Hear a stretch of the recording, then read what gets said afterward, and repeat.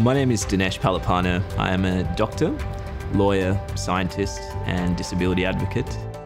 I have a spinal cord injury, which happened when I was 25 years old, and I lost all function below my chest, and it affected my hands as well. Today, I split my time between working in Australia's busiest emergency department and Griffith University, and in advocacy for people with disabilities. When I finished high school, I had no passion. I had no reason, I had no purpose, I had no why. I started to experience depression and anxiety, and it was the darkest point in my life. Well, one of the darkest points. When I started to come out of the depression, my entire world changed. And my mom likes to say that by helping one person, you mightn't change the world, but you can change the world for them. And that's what I get to do as a doctor every day. And I love that. What I want to do is to give back to people and give back to the community.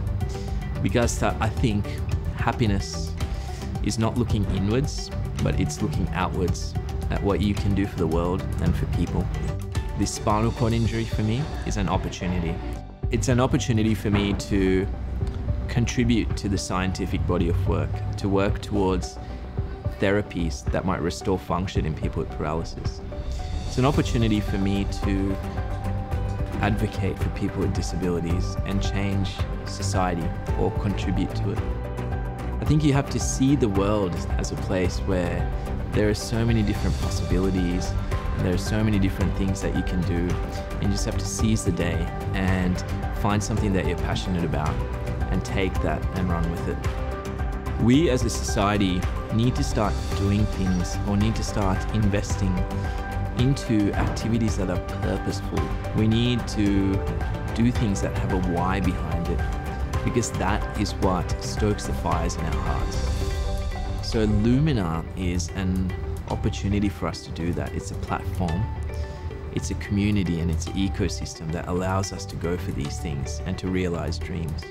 So Lumina is a really exciting ingredient that can be added to this already vibrant community to make that happen. I feel incredibly privileged to do what I get to do.